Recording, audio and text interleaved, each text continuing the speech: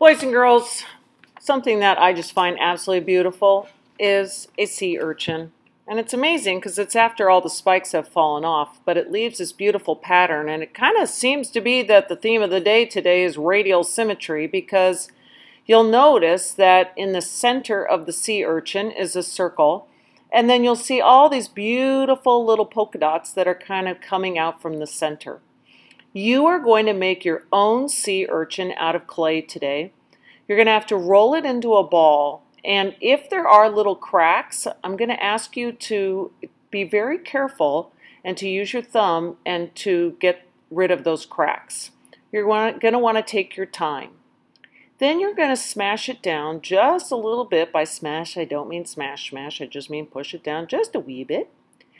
And you're going to begin by taking the back of a colored pencil. I'm using a needle tool here, but some people got a little nervous about you guys using needle tools. So you're just going to use the back of a colored pencil and you're going to push down. Don't push down all the way down to the table, but you want to push in a little bit deep so that there's a little bit of a shadow. It's just going to make it that much more believable.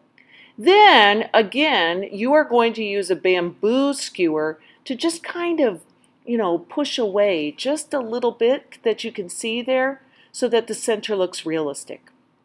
With your bamboo skewer, you're going to lightly um, push in and you are going to make one line going all the way to the side. You're going to find that you're going to have to be kind of gentle with your clay that you don't smush out all the really cool lines that you've or dots that you've already done. But notice that I'm coming out from the center and I'm making it nice. And now with your bamboo skewer, you're going to push in a little bit deeper so that you can make the hole just a little bit deeper and fatter. And you're going to notice that I'm going in between the tiny little holes that I made. Now do not expect that you are going to finish this in three seconds. You don't want to. You want it to be, when Mr. Heetderks saw mine was finished, he thought mine was real. I, I kind of think the same thing is going to happen to you. People are going to think that it looks absolutely, positively real. So take your time to get all those little tiny dots on there. And again, like I said, you're not going to be, um, try, try not to smush it out. Now, once you're finished, you are going to add watercolor it is going to seem a little weird because your clay is not dry and you're going to think this it's getting a little slimy, it's getting a little weird. My recommendation to you is to just try to touch it as little as possible. And it might be a little bit hard, but guess what? There are so many people who never get to work with clay like this, and you are. So you're just going to hold it up and even if it feels a little slimy, still be so gentle with it. Now I started off with purple, and then I was like, okay, that looks okay. Maybe I'll do something different. Later on, I decided to add a little bit of pink.